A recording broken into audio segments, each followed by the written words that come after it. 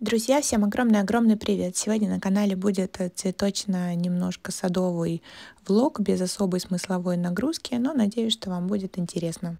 Сегодня занимаюсь домашними растениями, потому что весна, скоро уже нужно будет выходить на улицу и заниматься уличными делами. Пока что еще до этого кажется, что очень далеко, потому что очень много снега у нас. А, март, э, и в марте он еще, скорее всего, выпадет, обычно так и бывает.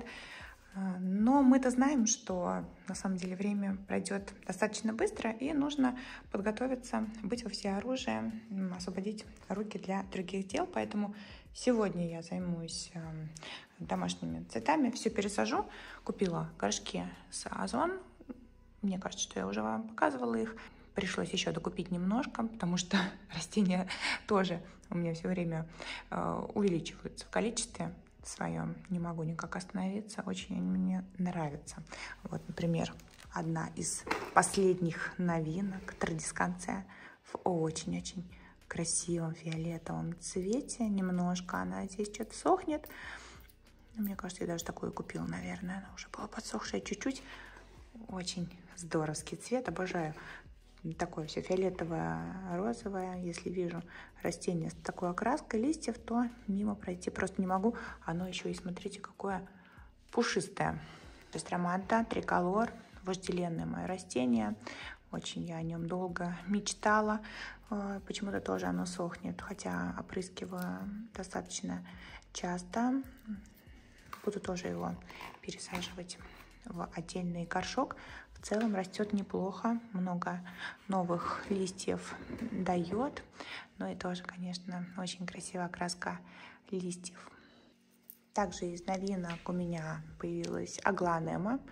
Взяла специально крошку небольшую для того, чтобы уже у меня она приобрела какие-то более а, уверенные размеры.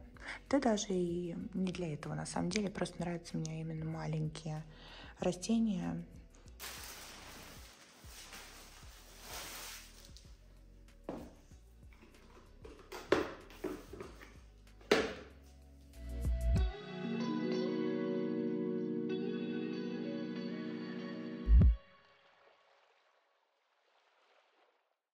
Пересадки папоротника.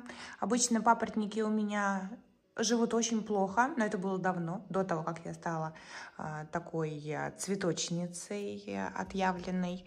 Видимо, мало я поливала их, не опрыскивала, как положено. В этот раз у меня очень хорошо пошел он. Очень много новых отростков а, идет из-под низа, из-под корня.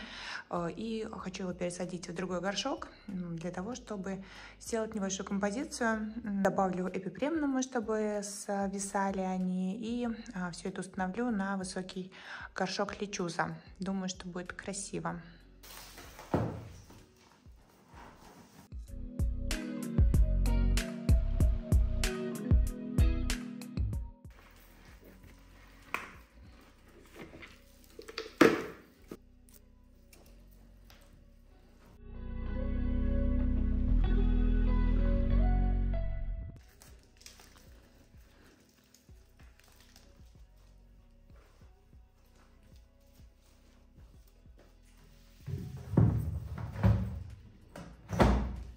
А так выглядит мой горшок спустя еще какое-то время.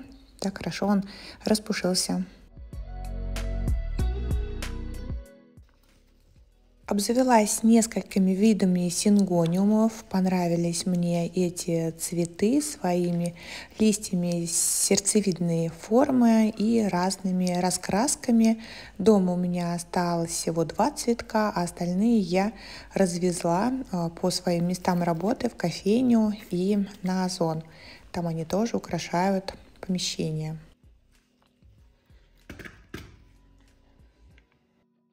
Еще одна новинка – крестовник крупноязычковый или по-другому ложный плющ. Растение относится к лиственным саккулентам, достаточно неприхотливое, но имеет очень внушительную зеленую массу, которую оно легко наращивает. Растение нуждается в опоре, здесь оно, видите, в виде круга. с Завита. А у меня сейчас посмотрите, как оно будет цепляться к веревке жалюзи. То есть оно такое очень, очень цеплючее и хочет куда-то все время ползти.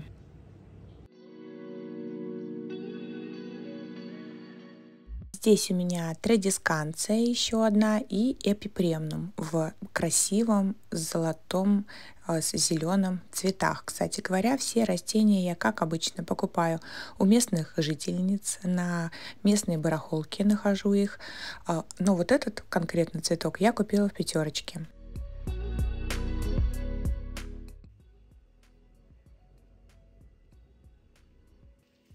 Ну и вот эта безумно красивущая традисканция в фиолетовом цвете, мы ее еще чуть-чуть попозже высадим на улицу.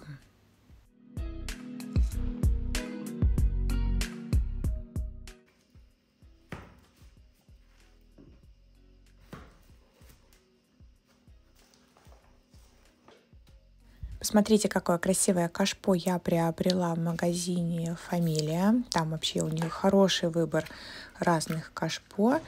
Вот этот мне очень понравился. Здесь какой-то геометрический ацтекский принт. Туда я э, посадила пеперамию. Ну и самое сложное в этих делах, это, конечно, не сама посадка, а потом уборка после всего этого безобразия.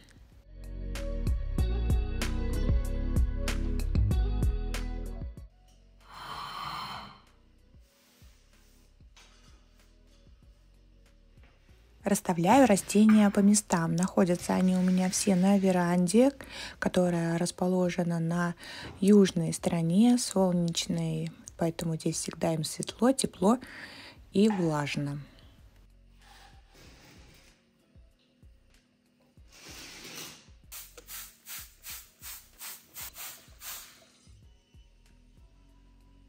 Ну а теперь давайте все-таки начнем подготовку к весенне-летнему сезону. Буду делать кашпо из искусственного ротанга для улицы. Мечтала об этом ну, года три, не меньше. И все время мне было тяжело решиться, потому что, ну, как обычно, что-то новое всегда сложно начинать, потому что не знаешь, что нужно делать.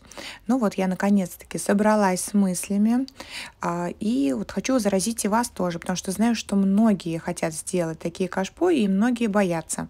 Не бойтесь, девчонки, это делается достаточно легко.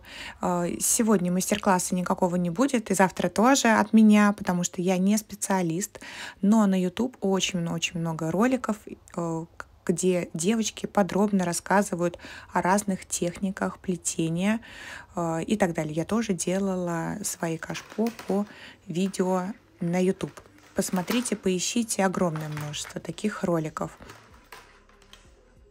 Единственное, что посоветую вам приобрести или найти где-то паяльник для того, чтобы делать отверстия в горшке. Я пробовала разные способы и дрелью, и горячим гвоздем. Это все не работало, ну, по крайней мере, на мне, на моих горшках. Поэтому паяльник это супер, супер отличный э, гаджет для вот, изготовления дырок. В моем случае схема плетения самая простая и элементарная. Можно найти что-то посложнее, потяжелее, но для первого раза мне кажется, что это идеально.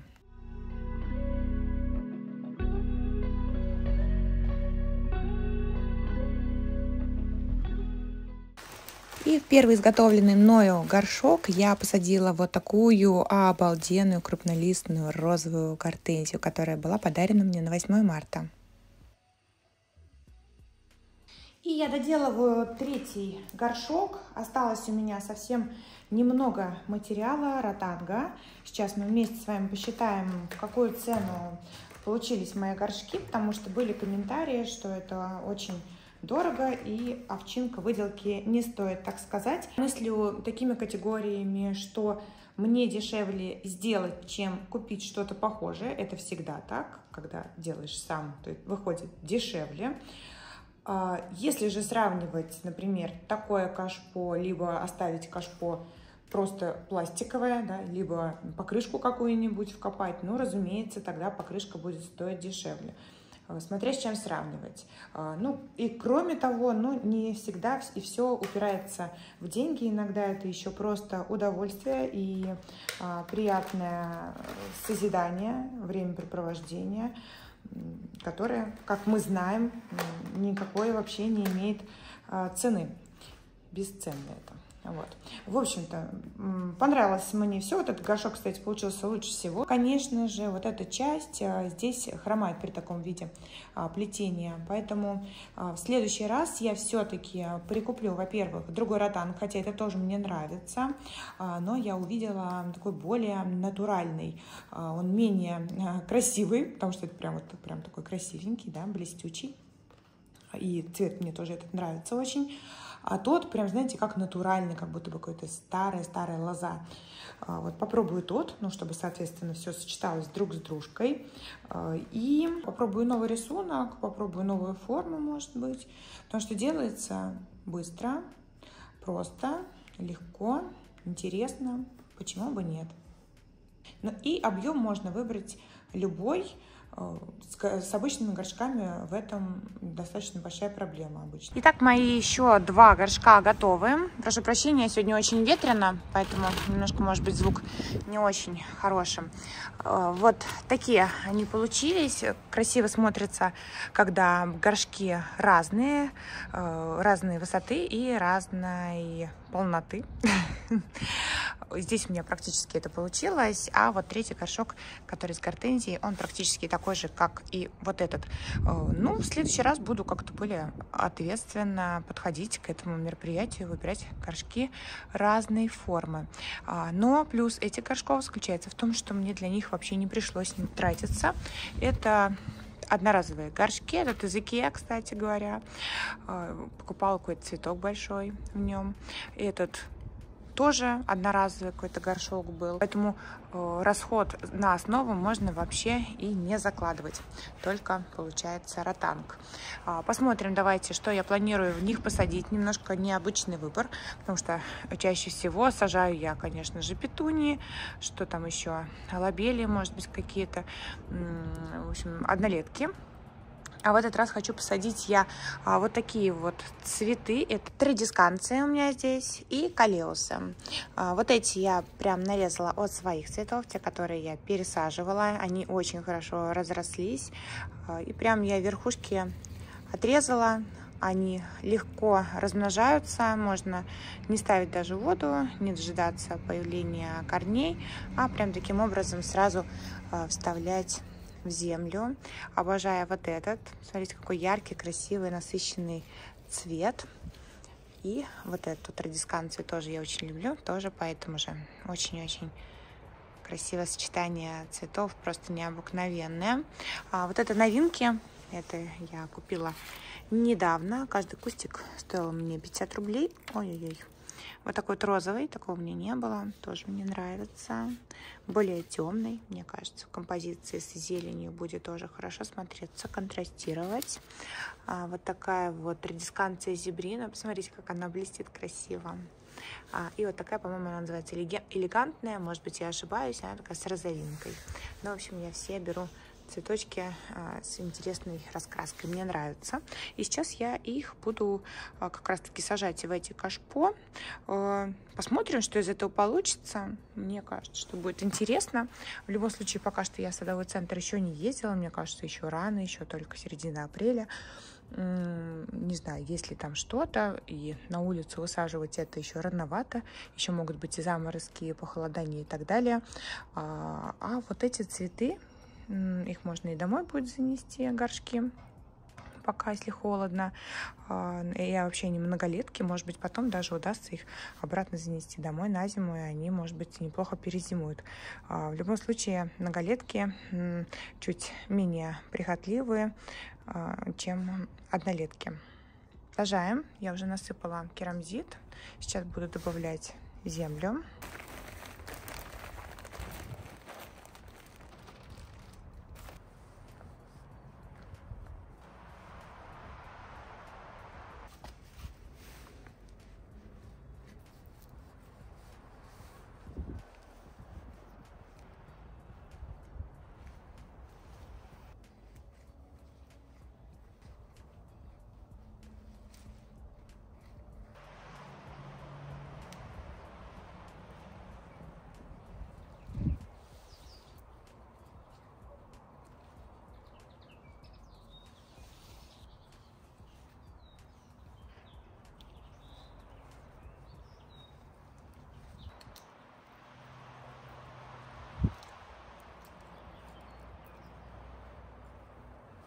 Ну и вот такие кашпо получились, такие композиции.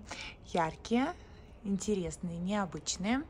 А, немножко уже э, имеют уставший вид а, вот эти вот калеусы, которые совершенно были без корня, а, и пару дней они будут выглядеть не очень, но если их э, поливать, каждый день, то они очухаются, и все будет с ними в порядке. У меня проверено, я их уже не один раз за этот сезон сажала, э, пересаживала в разные кашпо.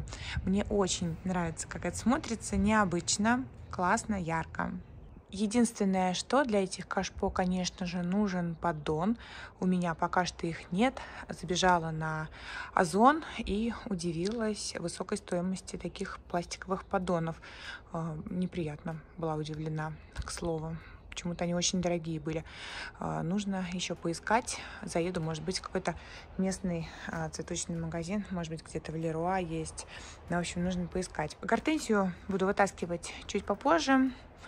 Боюсь, что ей будет холодно.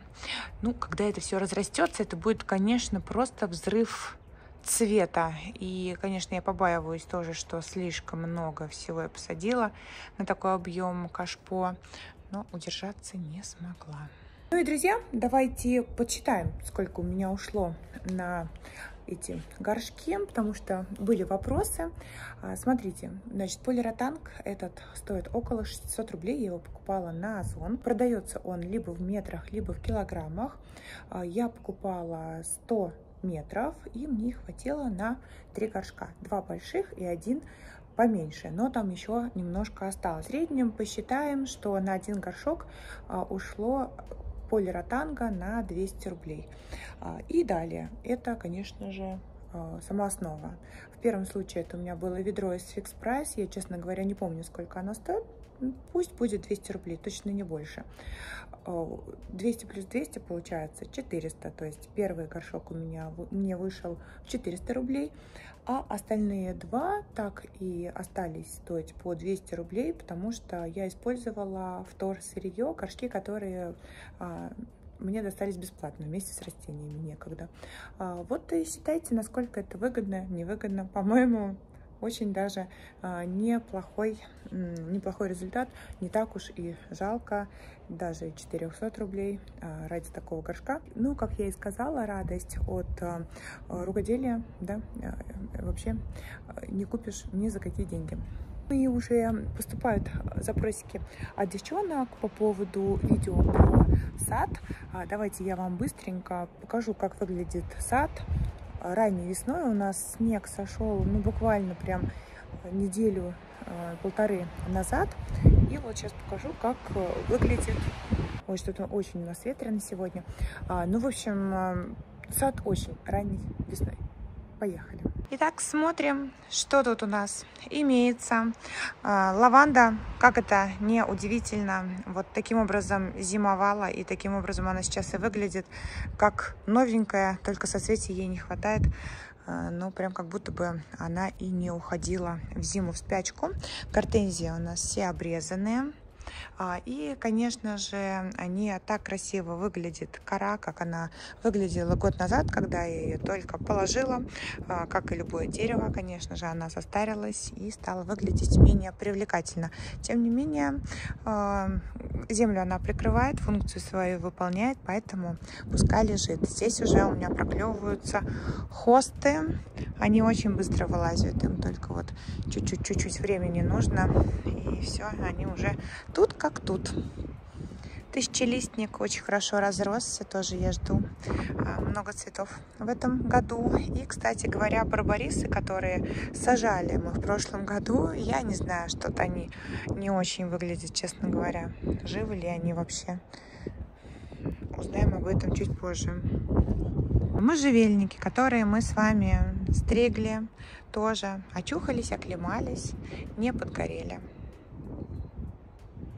Конечно же, как обычно, горит коника. Я думаю, что нужно от нее вообще избавляться. Она тут лишняя, закрывает вот эту красивую сосну. И вот все время такая, вот такая вот рыжая, поэтому не сажайте ее, особенно на солнечной стороне.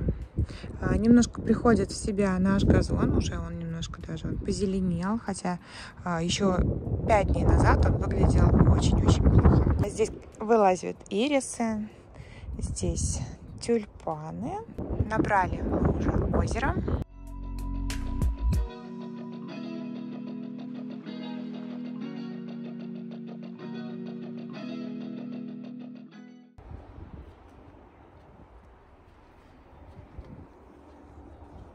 Вновь подгорел вот этот можжевельник, над которым я тоже очень активно билась в прошлом году. Не знаю, что с ним делать. Какой-то он бесючий. А то и нам почистили сегодня. Мы приглашали специалиста, можно так сказать. Он нам прошелся по ним хорошенько, потому что, конечно же, после зимы э, и желтеют они, и очень много мусора под ними было. Здесь вообще было все усыпано их хвоей. Вот, а теперь стало чисто. Вот это тоже подгорел.